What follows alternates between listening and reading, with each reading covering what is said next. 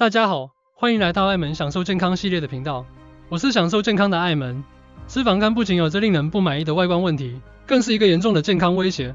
内脏脂肪，特别是脂肪肝，可能导致慢性肝炎、糖尿病，甚至全身性发炎。脂肪肝被认为是心血管疾病的根本原因之一，且目前还缺乏有效的治疗方法，因此改善脂肪肝成为许多人渴望的目标之一。这份令人振奋的研究刊载于二零二三年九月的《细胞代谢》期刊中，为我们带来了一个关于脂肪肝的新视野。研究的主要发现是，只需将主食转换为一种特殊的淀粉，经过四个月，脂肪肝病情将自然改善百分之四十。研究方法和结果：研究选择了两百名患有脂肪肝的受试者，并将他们分成两组，一组每天摄取抗性淀粉，而另一组则摄取相同热量的非抗性玉米淀粉。四个月后，让我们看看两组受试者的身体有何变化。结果表明，摄取一般淀粉的组别，脂肪肝的严重程度几乎没有改变，体重也没有明显下降。然而，摄取抗性淀粉的组别表现出令人惊喜的改善，脂肪肝的严重程度从二十四下降到十三，三酸甘油脂水平降低了近百分之四十，平均体重从八十三公斤降至七十八公斤。值得注意的是，脂肪肝的改善不仅仅是体重减轻所带来的，即使体重并未明显下降，抗性淀粉也能够改善脂肪肝。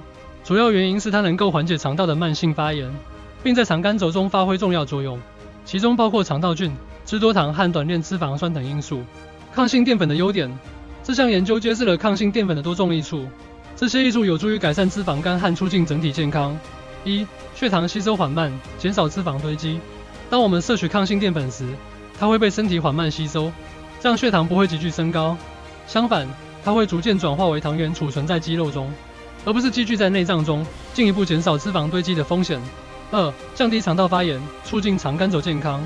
抗性淀粉有助于减少肠道发炎和脂多糖的生成。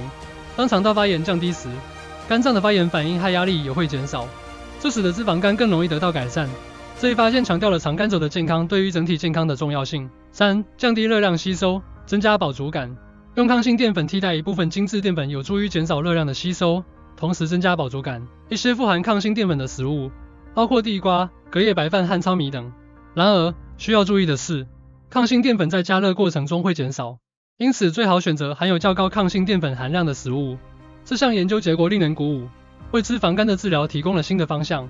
通过摄取抗性淀粉，我们不仅可以改善脂肪肝，还可以促进整体健康。